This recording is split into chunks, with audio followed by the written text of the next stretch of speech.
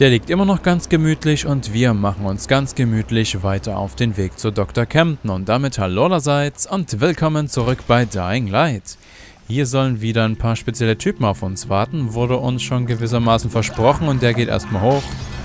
Super, hat auch noch Lärm gemacht, aber ich glaube hier drin ist das mit dem Lärm gar nicht mal so schlimm. Oh oh. Hier ist noch irgendwo einer. Ach, da hinten. Das sind... Die sehen noch gar nicht wirklich lange infiziert aus. Schaut mal. Der da hinten schon eher, aber der hier vorne nicht wirklich. Naja. Also ich bin mal gespannt, wie Dr. Campton so aussieht. Bisher haben wir ja bloß seine Stimme gehört. Ist er auch schon gezeichnet von diesem Virus hier? Hat er vielleicht irgendwie ein spezielles Erlebnis gemacht? Weil Troy hat ja Verbrennungen im Gesicht, nehme ich mal an. Und vielleicht hat sich ja einfach für jemanden eingesetzt und musste das dann letztendlich in Kauf nehmen, aber hat dafür eben ein Menschenleben gerettet. Kann ich mir zumindest vorstellen. Werden wir bestimmt gleich herausfinden. Vielleicht sitzt der Dr. Campton auch im Rollstuhl. Also wie gesagt, ich habe keine Ahnung. Das ist wieder bloß meine Vermutung. Aber das wäre auch mal ein besonderer Umstand. Hier in der Zombie-Apokalypse im Rollstuhl. Wenn es jetzt wirklich so kommen sollte, denke denk ich mir, ah, habe ich doch gesagt. Aber ich glaube letztendlich doch nicht wirklich daran. Aber ich lasse es einfach mal so stehen. Ich stelle ja gerne mal ein paar Vermutungen in den Raum. Hier müssen wir wieder hoch. Und mal schauen, ob die dann letztendlich eintreten oder eben nicht. So, äh, Büroräume haben wir jetzt hinter uns. Und wir sollen... Ein Lagerbereich, okay. Hier geht es schon mal nicht lang. Ist hier irgendwer? Hier ist doch wohl der Rammer, oder? Ach, der ist immer noch da hinten. Okay, wir sind jetzt bloß hier oben. Der ist immer noch da hinten. Aber wir sind jetzt hier hochgekommen und können eben einen anderen Weg. Da knabbert jemand. Ich dachte, da geht wieder jemand hoch. Ach, der hat sich noch bewegt. Und hier soll ich jetzt rüber. Ist ja sehr auffällig. Unauffällig mit dieser Lampe da gemacht, dass wir da nicht weitergehen dürfen. Oh. Ja, hier ist irgendwas umgefallen. Äh. Da will ich nicht rein. Die stört das nicht weiter, oder wie? Also die Zombies, die draußen sind und die eben in diesen Mist laufen, die vergammeln ja wirklich. Wir können uns hier nicht aufrichten. Ich bin immer noch in der Hocke. Wir müssen von Regal zu Regal springen, aber die stört das nicht wirklich. Haben die Schutzschuhe an. Tja, und jetzt? Müssen wir doch mal kurz da reinlatschen oder ist das gar nicht so gefährlich? Aber das grün, das ist gefährlich. Erstmal kommt ihr weg. Kann ich jetzt leider nicht zertreten. Ansonsten würde ich das natürlich gerne machen. Mist. Hm, also an den Schuhen kann es nicht liegen, warum die hier überleben. Die ohne Schutzanzug. Weil der hat sich gerade mit der vollen Breitseite hier in den Schmodder gelegt. Das kann es also nicht sein. Ja, wo kann ich denn rüber? Soll ich doch mal kurz irgendwo reinspringen oder ich springe da auf das Fass? Aber leider habe ich es nicht getroffen. Aber hier drüben sieht es ja ganz in Ordnung aus. Oh, ein Mobiltelefon als elektrisches Bauteil. Nein. Will die nicht hochgehen. Wenn ich Gebrauch... Ach, da kommt noch einer an. Ja, nicht zu gebrauchen, ist mir schon klar. Ich wechsle erstmal, bevor ich repariere. Lass das. Ach, der ist schon hinüber. Dann Bein ab. Unsere gute alte Jagdmachete hat ja eben noch zwei Reparaturslots und eben vielleicht auch noch mehr. Oh Gott, oh Gott. Das wird sich eben noch herausstellen. Also es ist ja schon ein beschwerlicher Weg zu Dr. Campton und Rais Leute waren wohl gerade auf dem Weg. Ja, super. Können wir das kaputt machen?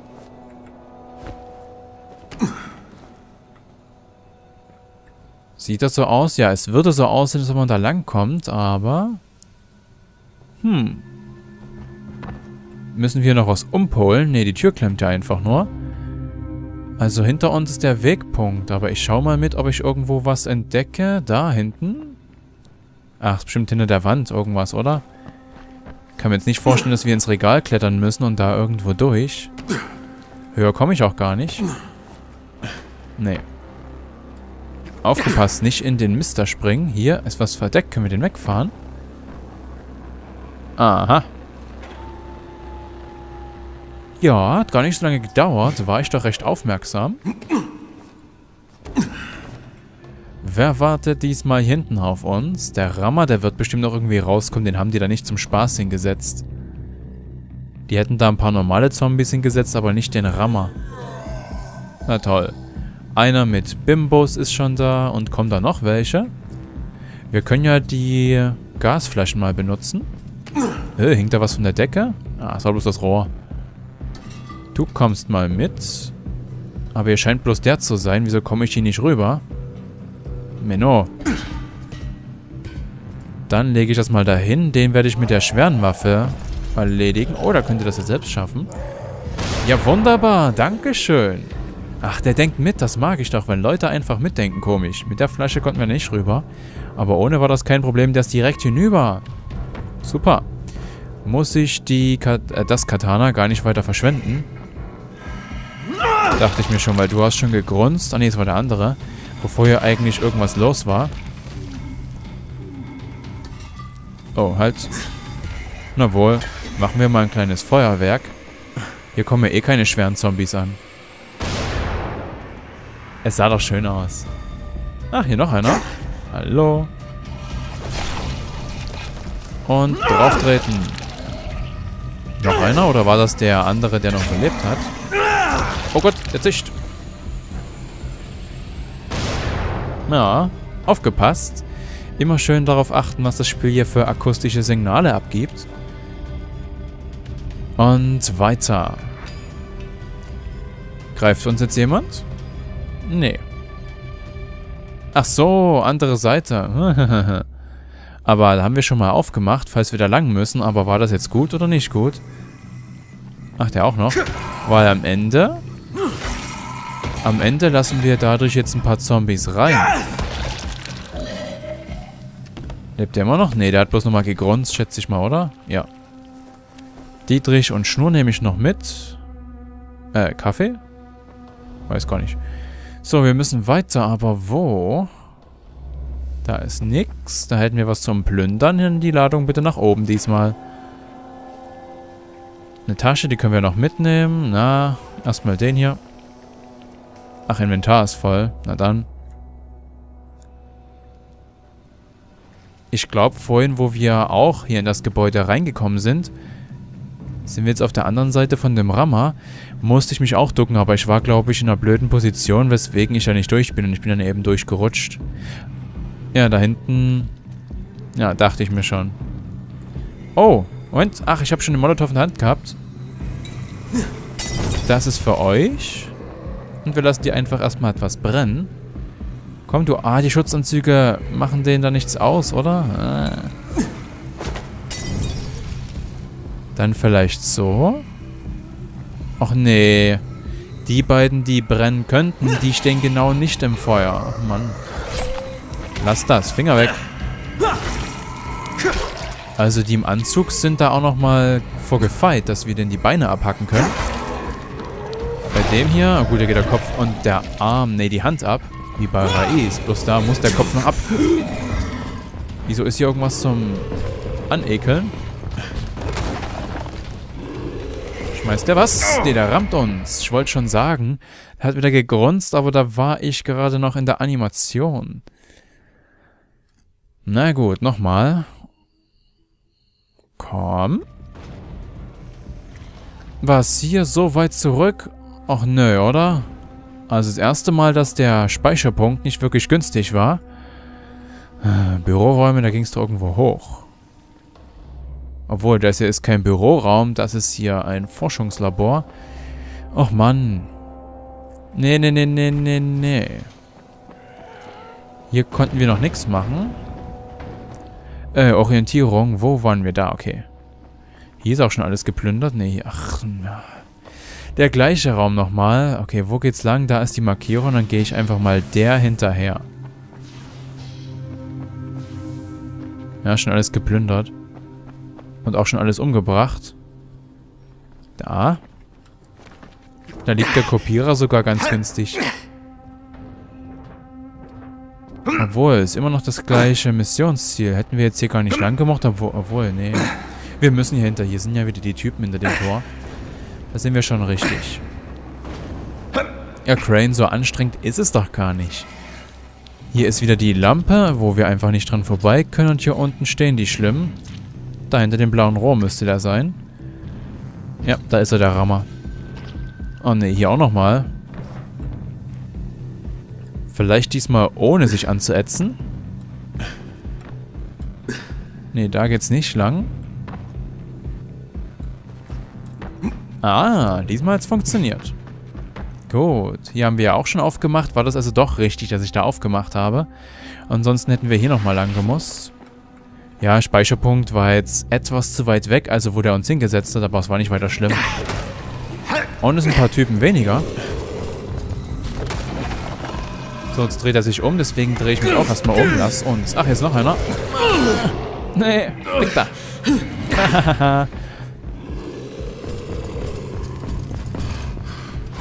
nee, er ist noch nicht erschöpft, deswegen weiter. Aber ich glaube, hier drin scheint er nichts werfen zu können. Deswegen rammt er bloß. Hier ist kein Zombie. Ist der jetzt erschöpft? Nein. Jetzt vielleicht? Nee. Jetzt? Ja. Also Schutz. Äh, er ist schon wieder da. Voll bei der Sache. Versteck mich mal hier hinter. Hallo. Ach, der knabbert wieder zwischenzeitlich. Hätte ich vielleicht das Genick brechen können, aber muss auch mal so gehen. So, der jagt vielleicht beide hoch oder alle drei.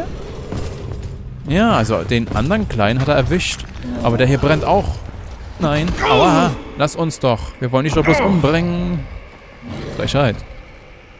Nee, er lebt immer noch. Ich dachte, der wäre weg. Na, das war blöd. Habe ich mich genau neben die Fässer gestellt und jetzt kommen wir um. Oder auch nicht. Jetzt stirbt doch mal. Ja, es hat gespratzt. Jetzt aber endgültig. Okay, dann nur noch ihn hier. Und eben nicht nochmal draufgehen. Na, das hat nicht gereicht. Schade. Okay, da stelle ich mich das nächste Mal direkt an die Seite und springe zur anderen. Also so hier. So, komm nochmal. Na, habt ihr das gesehen? Der hat vorher noch die Spur gewechselt. Das ist ja fies. Oh Mist, jetzt war der erschöpft und wir haben es nicht ausnutzen können.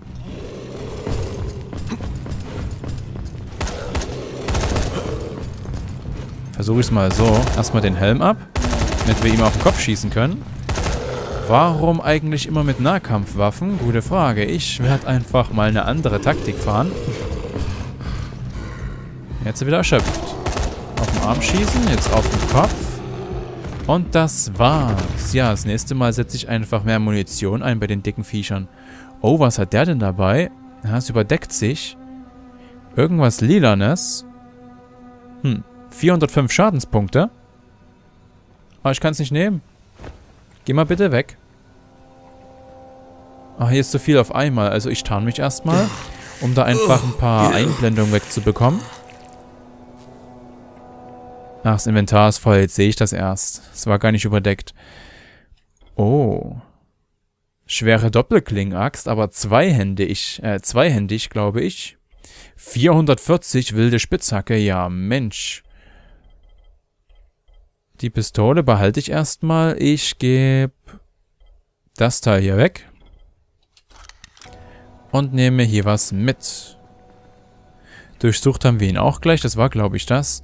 Hier sind wir ja durchgekommen. Hier können wir noch schnell was mitnehmen. Einmal Batterie.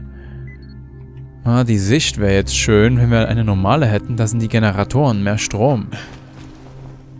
Hoffentlich ist hier keine Giftplöre. Zumindest sehe ich es nicht. So, der ist an. Oh. Hoffentlich geht das Ding jetzt nicht hoch. Reicht das hier, wenn wir zwei anmachen, oder müssen wir den anderen? Arbeit. So, gehen Sie zurück zur Dekontaminierungskammer. Wissen Sie, selbst wenn die Evakuierung nicht fehlgeschlagen wäre, hätte Zira Harar nicht verlassen. Er und der Agent waren entschlossen, den Überlebenden zu helfen. Na, genauso wie wir mittlerweile den Überlebenden zu helfen, nachdem wir ja anfangs für den Jerry gearbeitet haben und der eben nicht so ganz koscher ist. Jetzt können wir da rein, wo die schon gewartet haben, wo oh, wir schon oh, zweimal rein wollten. Tür, um den Prozess zu initiieren.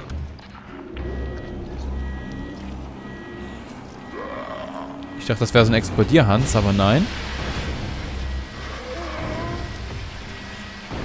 Na? Kommen die jetzt um? Oh.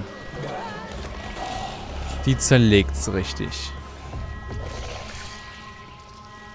Ich denke immer, hier ist einer, der explodiert neben uns, weil diese komischen Spratzgeräusche aufkommen. So, darf ich jetzt mal rein? Da hinten geht auf und hier auch. Jetzt ist der Weg frei. Die nehme ich noch schnell mit. Geht ja an sich ganz fix. Haben wir eigentlich schon die Fertigkeit, dass wir schneller durchplündern können? Weiß ich jetzt gar nicht.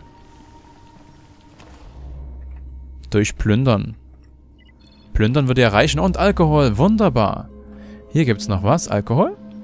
Leider nicht. Dann weiter. Da war nichts mehr. Hier scheint es wohl sicher zu sein, oder wie? Ja. Cutscene. Und... Hallo, Dr. Camden. Hm, versteckt er sich wo? Ne, da ist er. Nicht Crane, im Rollstuhl. Endlich treffen wir uns. Nun, Servus. haben Sie mir die Gewebeproben mitgebracht?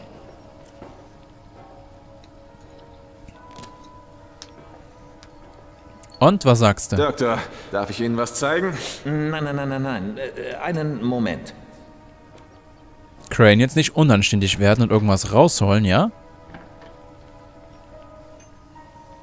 Aha. Wird das jetzt gekühlt oder erhitzt? Erhitzt. Alles klar, das schalten wir ein. Wird ein bisschen dauern. So, äh, was sagten Sie, wollen Sie von mir? Hey, das ist er. Das, das ist der GRE-Agent, von dem ich sprach. Wie war gleich sein Name? Amir. Ja, hm. genau. Amir Goreshi. Wie kommen Sie denn an sein Foto? Wir hatten eine gemeinsame Freundin. Die Proben sind noch brauchbar. Sehr gut. Mit ein bisschen Glück ist Ihr Besuch hier nicht umsonst gewesen. Apropos, äh, wo sind die restlichen Daten? Zira hatte doch zwei Pakete vorbereitet, oder? Ja, darüber äh, reden wir später. Jetzt steht erstmal ein kleiner Schlagabtausch mit dem GRE an. GRE? Crane, bei denen müssen Sie vorsichtig sein. Ihr Image ist eine einzige riesige Lüge. Das sind skrupellose, verlogene Bastarde. Wissen wir mittlerweile Natürlich, leider Doktor. auch. Und danke. Ich melde mich. Okay, wir haben die Probe abgegeben und haben 15.000 Erfahrungspunkte bekommen und hier ist jetzt auch schönes Licht. Kommen wir jetzt hier ganz einfach raus. Wir kontaktieren erstmal wieder den GRE. Und die blöde Tante, die uns letztens ja auch das erste Mal mit dem Vornamen genannt hat, weil sie eben was von uns wollte, die werden wir jetzt wohl wieder anrufen. So, ich muss hier mal raus. Müssen wir wieder durch den Fahrstuhl? Eigentlich ja. Weil das hier ist ein separates Level und das muss ja wieder entladen werden. Und, und die normale Spielwelt eben geladen werden. Aber erstmal wird uns Crane was vorlesen. Ich habe Camden getroffen. Er hat Sarahs Gewebeproben untersucht und meinte, die Chancen für ein Heilmittel stünden gut. Vorausgesetzt, er bekommt Zugang zu den verbleibenden Daten. Daten, die Rais in seinen dreckigen Fingern hat. Da ich nicht weiß, wo Rais sich versteckt hält, ist es an der Zeit, meine Freunde vom GRE um einen Gefallen zu bitten. Um einen Gefallen bitten, sollen die uns sagen, wo Rais ist? Er konnte ja herausfinden, wo wir sind, als wir eben das Funknetz hier verbessert haben. Dann konnte er eben auch herausfinden, wo wir uns mit Jade treffen wollten. Letztendlich waren wir auch dafür schuld, dass Jade umgekommen sind, weil wir... Ah, bessere Kommunikation war ja unabdingbar. Crane, ich sage es nochmal. Seien Sie bei diesen Kerlen vom GRE extrem vorsichtig. Die werden Sie über den Tisch ziehen, wenn Sie die Gelegenheit dazu bekommen. Weiß ich, Doktor. Ich werde aufpassen. Aber ich muss rausfinden, wie die Dinge liegen. Das gilt es auf jeden Fall herauszufinden. Und erstmal muss ich hier erstmal ja, aufräumen, ganz klar. Schade, Kopftreten ging da nicht. Das geht bloß im Stehen. Äh, ich will wieder rein, Leute, das ist ein Schlimmer. Zwei, oder? Ja toll, wie kommen wir jetzt hier raus? Ist da ein Albtraum in der Nähe? Aber die können uns nicht treffen. Ja, da ist ein Albtraum. Und der schlägt die alle nieder. Ah, er guckt rein. Also wenn ich das Bein abhacken würde, dann könnten die doch hier reinkriechen, aber an sich kommt ihr nicht rein. Super, müssen wir jetzt warten, bis die Nacht vorbei ist? Oder wir bringen die einfach mal alle um, inklusive zwei Albträume. Schaut mal, was jetzt hier los ist. Hm, bloß habe ich gar nicht mehr so viel Munition. Also zwei Schuss können die auf jeden Fall abhalten. Wie ist der hier reingekommen? Der hat sich hier reingepackt, dieser Schlingel. Nein. Haust du ab? Äh, ich muss mich mal heilen. Scheiße, wie ist der hier reingekommen, ey? Das gibt's doch nicht. Nein. Ach, da kann ich auch noch drüber springen. Äh. Das kann jetzt was werden. Ob wir das überleben? Ich weiß ja nicht. Auf jeden Fall kostet es wieder eine Menge Medkits. Na, boah, wie hätten der uns noch erwischt? Stirb doch mal. Ich heil mich mal kurz wieder. Ja, jetzt kommt er wieder rum. Na. Scheiße, hat er sich hier reingebackt, ey. Isa, Hund. Finger weg. Ja, das Problem ist, ich habe gar nicht mehr so viel von unserem Sturmgewehr übrig. Deswegen Nahkampf mit der stärksten Waffe, die wir haben. Komm schon. Ja, wunderbar. Puh, das Problem ist bloß, wie kommen wir da jetzt raus? Die stehen vor der Tür und die können sich hier reinbacken und einen zweiten überleben wir vielleicht gar nicht. Ah, die hauen gerade ab. Die haben die Lust verloren. Aber da stehen so viele herum. Oh Mann, oh Mann, oh Mann. Ich glaube, ich werde die Folge erstmal beenden. Ob ich die Nacht... Wie spät haben wir es denn? Ah, Mist, erst kurz nach 0 Uhr. Ob ich die einfach hier aushaare, weiß ich noch nicht. Ich glaube eigentlich nicht, aber wir sehen uns auf jeden Fall in der nächsten Folge wieder. Und dann überleben wir weiter. Und bis dahin, macht's gut, neue Wendigkeitsstufe und ciao, tschüss.